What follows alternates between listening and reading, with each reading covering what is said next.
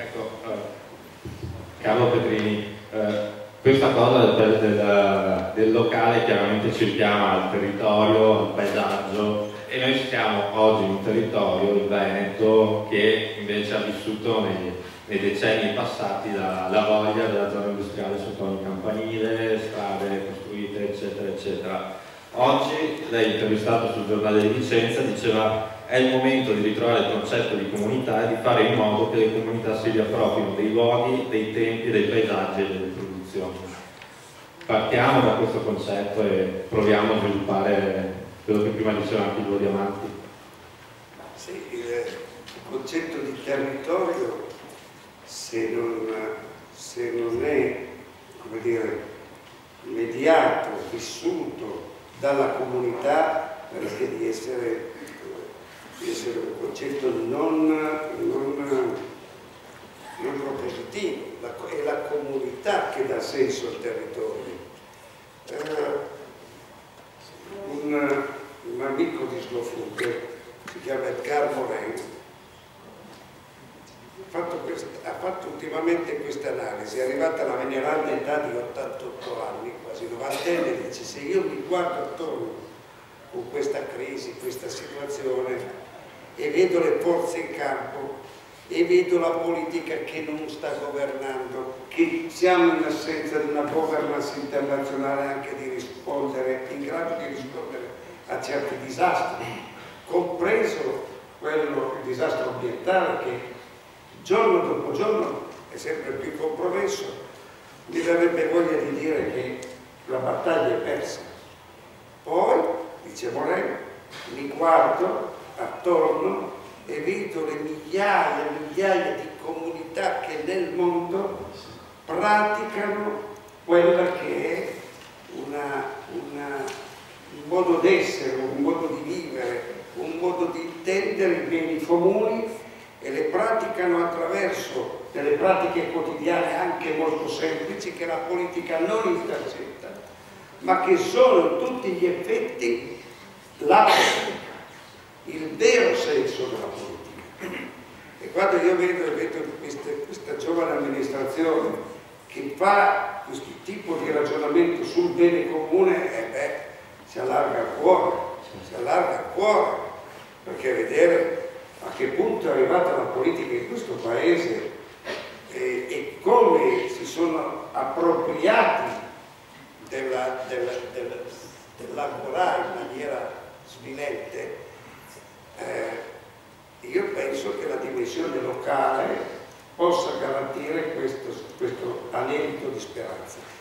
Sono anche confortato dal fatto che negli ultimi otto anni con la rete di Terra Madre questo tipo di, eh, di, di segnale lo avvertiamo e lo avvertiamo in maniera diversa da paese a paese. Perché? Perché nella profonda Africa, ma anche negli Stati Uniti d'America, nel nord Europa, così come nelle Ande peruane, il senso delle comunità che si mobilitano sulle tematiche di difesa della terra madre, di difesa della, del patrimonio, del bene comune, della terra, dell'acqua, della, della socialità, del mantenere vivo anche la memoria, ecco, tutto questo è una prassi che esiste. Non interessa se la politica non ha ancora capito, un giorno o l'altro la dovrà capire per forza, per forza, perché questo movimento è molto più forte e molto più radicato di quello che, che si può pensare. E vista poi da un osservatorio particolare che è quello della politica del cibo, è ancora più interessante, è ancora più interessante. Perché vedete, la fortuna del nostro movimento è che ci ha mai preso troppo sul serio. Questa è una cosa che va benissimo. Nello stesso tempo, per non essere preso sul serio, noi abbiamo potuto costruire con calma con pazienza un legame forte con le comunità, in maniera tale di portare ad emergere quello che in fondo è il bene comune primario. noi siamo viventi perché mangiamo. E questo rapporto con la terra che noi abbiamo dimenticato, gioco forza, lo dovremmo riprendere. Ho sentito che adesso farete la pratica della cucina degli avanzi, ma siate felici, guardate che mangerete benissimo. Chi pensa che la cucina degli avanzi sia, come dire, una sorta di penitenza che questa, questa situazione del momento dobbiamo correre ai ripari e fare la cucina degli avanzi, non ha capito niente perché tutta l'alta cucina italiana, nella storia della cucina italiana, è la storia della cucina degli avanzi. Il più grande piatto della Toscana è la ribollita e si fa col pane raffermo. Eh, il più grande piatto del mio Piemonte sono le raviole, gli agnolotti. Il ripieno degli agnolotti mia nonna lo faceva con gli avanzi della settimana, metteva sotto la mezzaluna, ovviamente ci metteva un po' di, di, di spezie eh, che, che, coprivano, cioè, chiudeva, chiudeva l'agnolotto, chiudeva l'agnolotto ed era un mangiare straordinario, questa è la sapienzialità.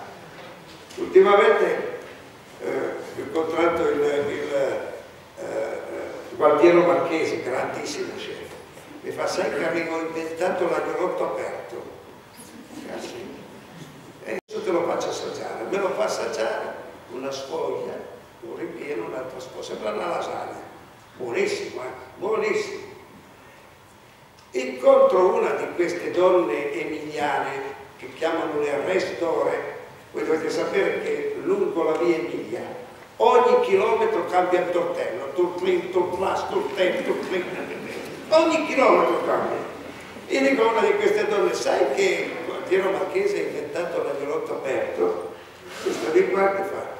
Mo ci abbiamo messo quattro secoli a imparare a chiuderlo.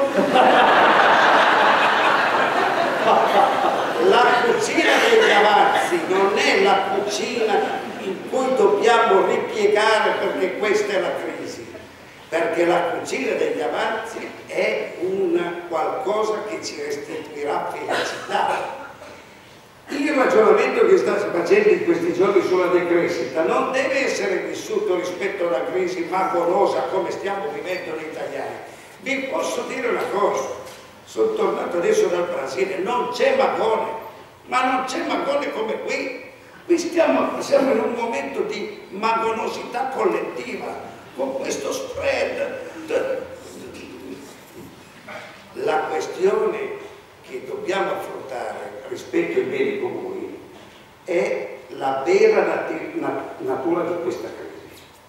La vera natura di questa crisi ci deve portare a nuovi paradigmi e i nuovi paradigmi devono essere anche, come dire, propositi di libertà, di liberazione i nuovi paradigmi devono liberarci dalle incrostazioni che ci hanno portato in questa situazione. Allora, in estrema sintesi, chi pensa che questa sia una crisi lineare e sta attendendo la crescita, si metta a cuore pace, si metta a cuore pace. Adesso, ieri, proprio ieri, Monti diceva, nel, 3, nel 2013 vediamo, lo vede lui, fidiamoci, ma guardate che non è così semplice. Questa è una crisi di sistema. La crisi lineare, con alcuni, con alcuni aggiustamenti e ricreando lo spirito della domanda, dell'offerta, dei nuovi consumi, può anche farli uscire. Questa è una crisi entropica, questa è una crisi entropica e questa è una crisi entropica non italiana ma mondiale che, che ci chiama tutti alla responsabilità. Proviamo a parlare di entropia come, come, come, come per quello che riguarda il mondo dell'alimentazione. Il cibo è l'energia della vita, quindi noi produciamo il cibo, le lasagne, carne, latte, quello che produciamo ci dà 100 di energia. Se per produrre questo 100 di energia che entra nel mio mi dà la vita, va bene? Io consumo 300 di energia, un anno, due anni, dieci anni e poi arriva la crisi entropica. Siamo in piena crisi entropica.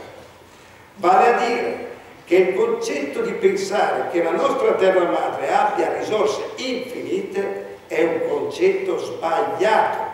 La finitezza delle risorse incomincia a essere evidente su scala mondiale. Tra pochi anni avremo un grande problema per l'acqua e sarà causa di guerra, più che il petrolio. Ma è evidente perché se il 76% dell'acqua va per la produzione agricola, 76% e si spreca in maniera enorme quest'acqua, noi consegneremo alle future generazioni un disastro. Siamo in presenza di una crisi che chiede nuovi comportamenti. Allora, per tornare alla nostra situazione, il discorso spre dello spreco non è un discorso così messo così a casaccio, è l'essenza. La FAO dice che noi produciamo cibo per 12 miliardi di viventi, siamo 7 miliardi, un miliardo non mangia. Questo vuol dire che il 50% del cibo va a finire nella spazzatura. 50% nel nord e nel sud del mondo, nel sud per altri motivi ma il 50%. Ora, se le indagini demografiche dicono che entro il 2050 saremo 9 miliardi, delle due l'una, o ascoltiamo le chimere di chi dice che bisogna produrre di più e continuare a stressare la terra madre per produrre di più, così che con queste percentuali produrremo cibo per 18 miliardi di viventi e lo spreco sarà ulteriormente implementato o altrimenti cambiamo i paradigmi.